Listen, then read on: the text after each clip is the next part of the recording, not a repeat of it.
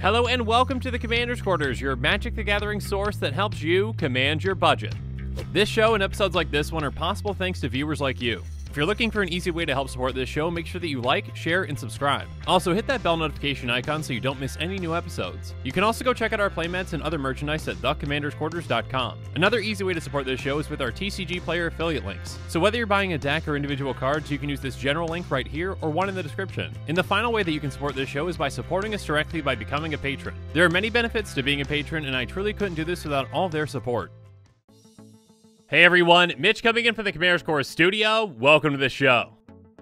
So, recently I did an episode on the custom magic set Dark Souls Hollows of Lordran. On that episode, I went through the 20 commanders in the main set, and many of you seemed to really enjoy that episode, but many of you also had some questions in the comments. Like, where in the world is this character? Or where's that character? Or why isn't this character on a card? Well, get ready to praise the sun because on this episode, I'm going to be going over the commanders from the Dark Souls Commander expansion. That's right, Solaire is here in all of his sun praising glory. And of course, Solaire is joined by a lot of your other favorites from Dark Souls. In fact, there are 20 commanders in total from this commander expansion. Now, before we jump into all those amazing commanders, a big thank you to Zoo for designing this amazing custom set and commander expansion, which I am covering today. And of course, a huge thank you to everyone else who helped out with this set, and you can find all their names on the credits at darksoulsmtg.com.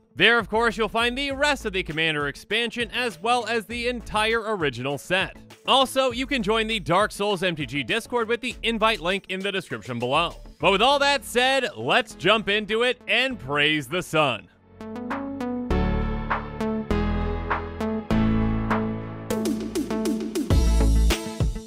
First up, of course, we have Solaire Seeker of Sunlight, hashtag praise the sun. Solaire is a 3-3 human knight for 1 red white. Whenever Solaire Seeker of Sunlight and exactly one other creature attack, they each gain double strike until end of turn. And of course, Solaire has partner. Because of course Solaire's not going to be going into battle without a buddy like you.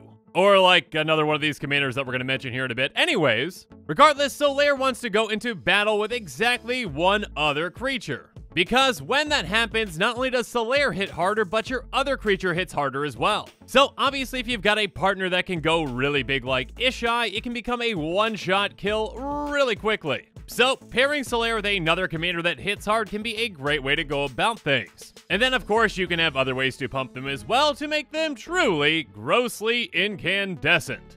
You, you know the reference to what Solaire said in Dark Souls?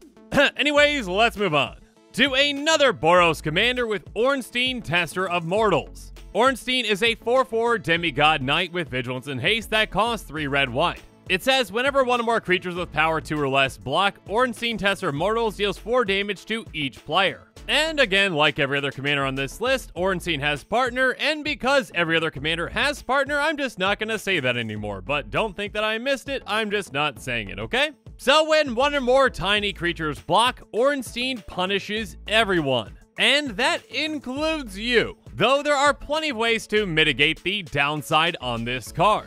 The easiest way would actually just make it into an upside. Simply give Ornstein lifelink and now you're going to be gaining life instead of losing it. If all four players are still alive, you're going to be dishing out 16 total damage, four of which is going to be to yourself. But since you're dishing out 16 damage, you are also gaining 16 life, and so basically, yeah, in total, you're gaining 12. So every single time a tiny creature blocks, your opponents are losing life and you're gaining a ton of life. So yeah, I would work on flooding the board with tiny creatures, including giving your opponents tiny creatures and also forcing attacks. With a couple of blocks on each strip around the table, Ornstein can easily keep you alive and punish your opponents. And of course, you can punish your opponents further with damage doublers, so have fun with that. But next up, since we talked about Ornstein, we of course have to talk about Smough. Smough Grisly Executioner is a 5-5 human warrior with menace that costs 2 black-green. It must be blocked by 2 or more creatures if able. Smough is the type of commander that just wants to swing and swing and swing again.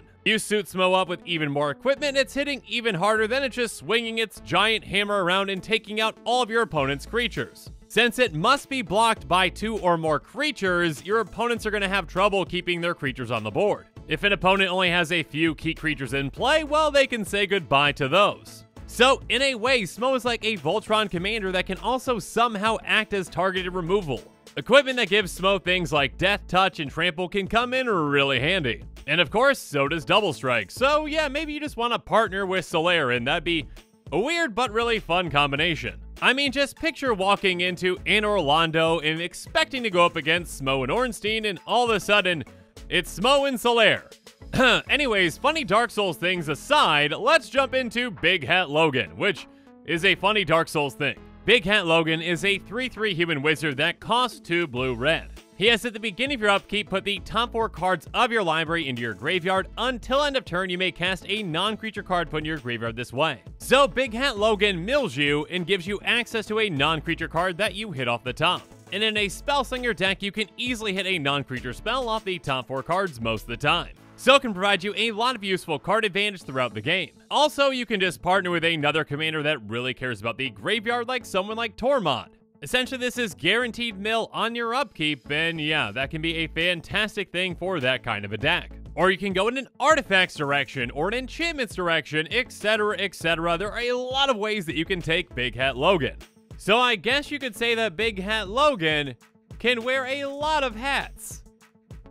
Get it? Okay, no, that was bad. Anyways, now though, let's move on to Artorias the Wolf Knight. Artorias is a 4-7 demigod knight that costs 3 green-white. It says if a source would deal damage to a creature other than Artorias the Wolf Knight, you may have that damage be dealt to Artorias instead. If you do, you gain that much life. So yeah, can you say indestructible? I envision a deck with a partner commander that has red. You use one of many ways to make Artorias indestructible, and then you cast something like a Blasphemous Act. Your partner commander is fine because you can redirect that damage to Artorias. And Artorias is fine because it has indestructible. So Artorias just took 26 total damage, you gain that much life, and then the rest of the board is pretty much wiped. Now additionally, or actually in another direction, you could make this into a very political commander.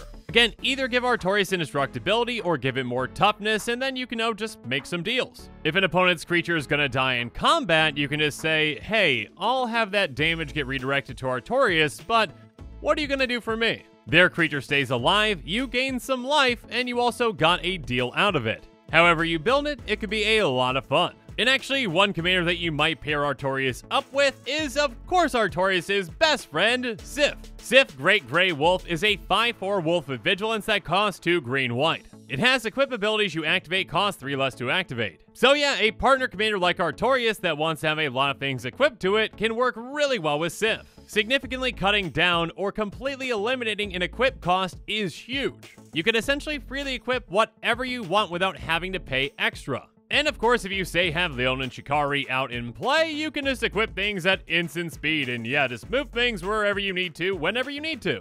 So have fun with that. Regardless, yeah, there are plenty of commanders out there that can really utilize equipment, so Sif would be a great partner for them. I mean, just think about the adorable combination of Rograkh and Sif. You've got this tiny little kobold running around and, you know, this giant wolf just, you know, handing it equipment to smack your opponents with. What could be more fun than that? How about Siegmeyer Errant Ally? Siegmeyer is a 3-3 human knight for blue-red. Siegmeyer has, at the beginning of combat on your turn, choose an opponent at random. Siegmeyer Errant Ally attacks that player this combat if able. And whenever Siegmeyer deals combat damage to a player this turn, draw a card. So Siegmeyer definitely means well and tries his best, but sometimes, well, he's a bit errant. You might attack a player that you didn't really prefer to attack, and uh, unfortunately, that's just what happens when you play Siegmeyer.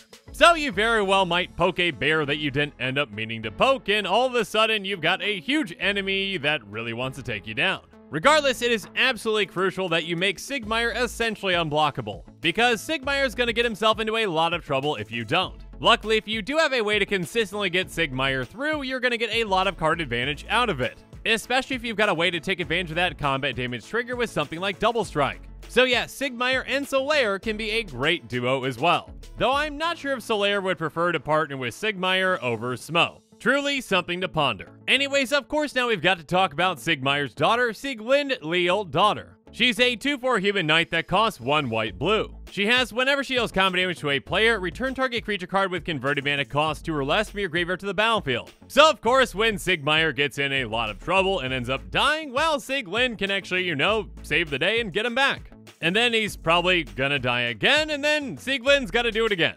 Regardless, this commander is fantastic at reanimating small creatures. So you're want to have ways to get creatures into your graveyard that she can then get back for you. So mill could definitely be a strategy for this deck, especially since this is a blue commander and you've got access to the best mill cards. And of course, you're going to want to find ways to guarantee that you can get her through, and also again by giving her double strike, you're getting that combat damage trigger twice. So maybe you've got some small but effective creatures that have death triggers that you can sacrifice, or ones that have ETBs that help you when they come in. There's a lot of different things that you can do with this commander. Or of course, you know, you can just have Sieglinde babysit Siegmeyer, because that's a thing too. But next up, let's move on to Alvina Hunt Mother. Alvina is a 3-3 cat advisor with flash that costs 2 green blue. She has whenever an opponent is dealt 5 or more damage, each other player than that player draws a card. So this commander encourages players, including yourself, to hit your opponents.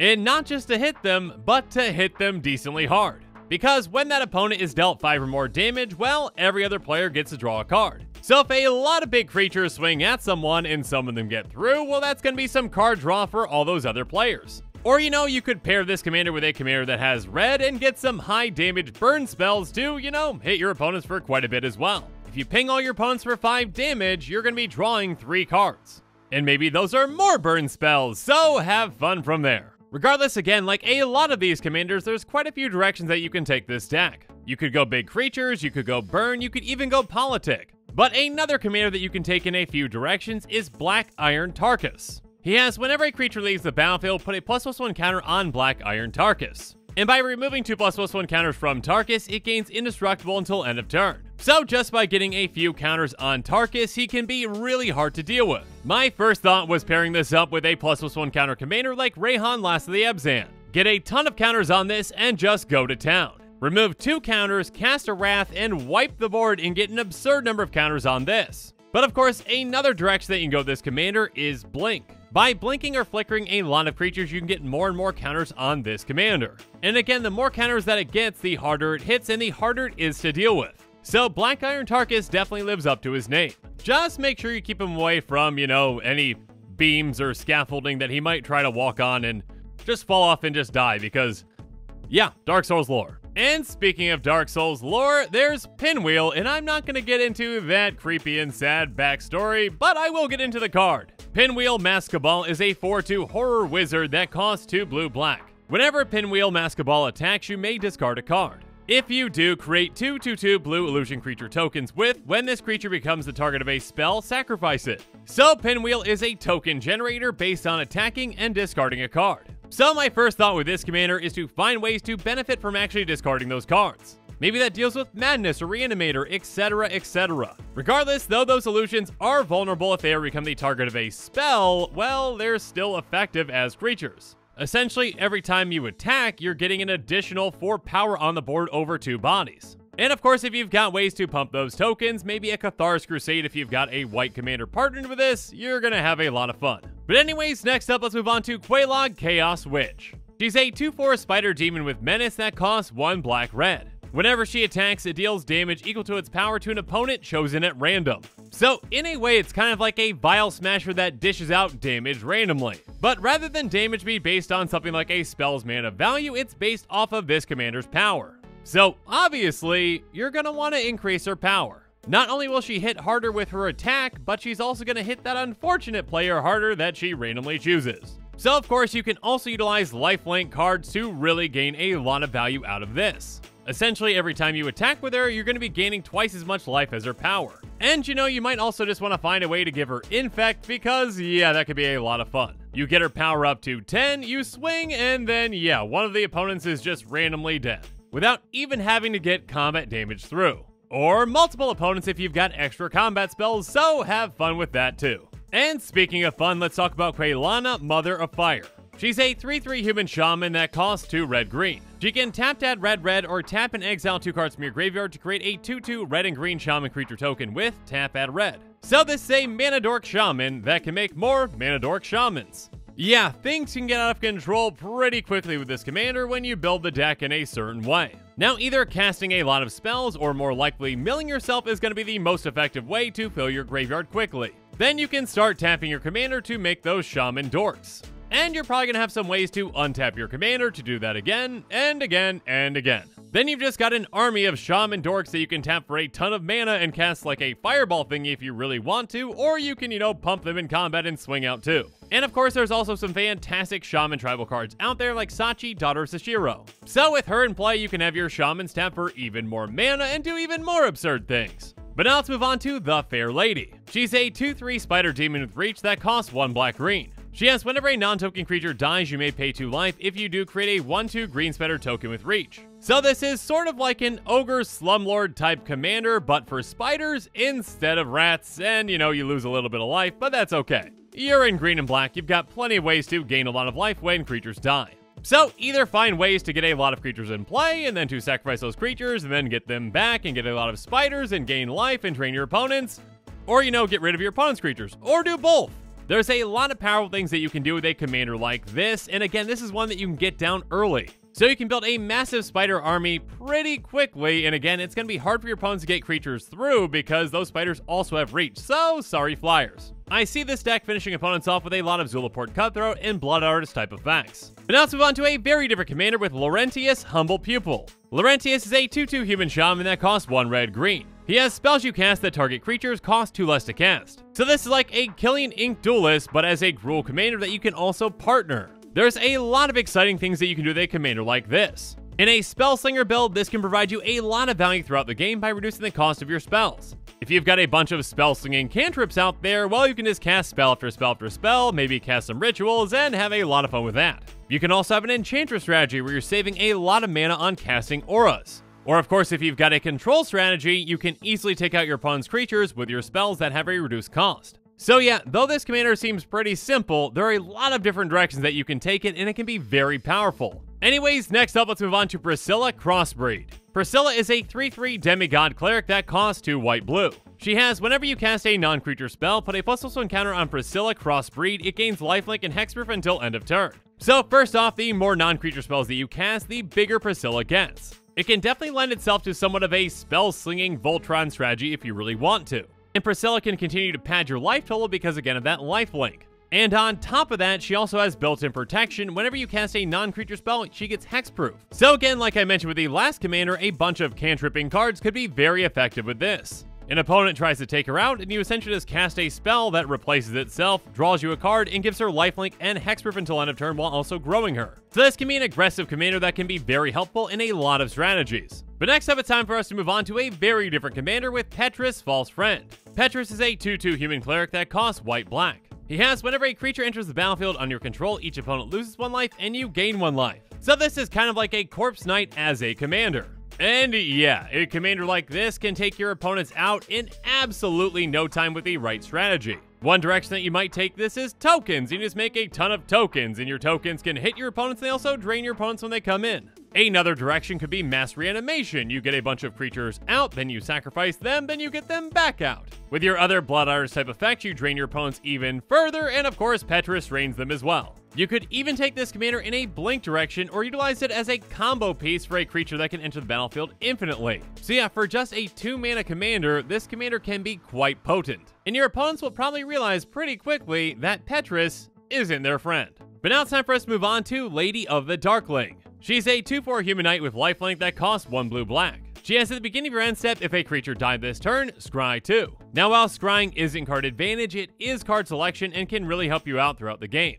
Or you know, if you partner this with Eligeth Crossroads Augur, then it is card advantage. Because the partner commander Eligeth turns all your scrying into card draw. So that's probably exactly what I would do, utilizing these two as a fantastic pair. Have some creatures that you actually want to sacrifice for some extra value, and then also, you know, Scry 2, which turns into card draw. Now, I'm sure there are plenty of other partner commanders out there that could be very effective with Lady the Darkling, but that's just the first one that came to mind. Next up, though, let's move on to Dusk, Princess of Oolacile. Dusk is a 0-3 human wizard with Defender that costs green-blue. She has at the beginning of combat on each player's turn, you may pay 2. If you do, put a plus plus one counter on target creature that player controls, that creature can't be blocked this turn. This commander has politics written all over it. you are going to be wheeling and dealing with opponents, pumping their creatures, and helping them get through on your other opponents. So essentially, you're going to utilize your opponent's creatures to do your dirty work for you. And then when it's one on one, you're going to probably steal your opponent's creatures and then kill them with their own creatures that you pump throughout the game. So yeah, in everyone swings, oh but not at me kind of strategy can really work well with this commander. Just make sure that you're good at politicking, or at least are practicing your politicking when playing this one. And make sure that you've solidified your very clear deal before you actually, you know, pump their creature and make it unblockable. Because you don't then want that creature coming at you. But the final commander from the Dark Souls Commander expansion is Kalameet Abyss Dragon. It's a 4-4 dragon with flying that costs 3 black red. It says if another source would deal damage to an opponent, it deals twice that much damage. This counts any and all sources except for this one. So that counts your other creatures, your other spells, as well as your opponent's creatures and spells. Again, everything hits your opponents twice as hard except this. So group slug and forced attacks could definitely be a way to take this commander. And you can also incentivize attacks to go a certain way, potentially with something like curses. So everyone's swinging at your opponents, hitting everyone else for a ton, and you're going to be taking a lot less if someone decides to swing at you. Yeah, a game with this commander in play can go pretty quickly. Especially if you pick certain other commanders to partner with it that can already hit hard. Like I mentioned with Solaire, Ishai can take out your opponents in absolutely no time with this as its partner. Or you know, Solaire partner with this is going to be dishing out 12 damage when it hits. So have fun praising the sun with your Abyss Dragon. And with that, this show is coming to a close, so it's my turn hear from you. So in the comments below, let me know what your thoughts on this episode are, and as always, thanks again and have a good one.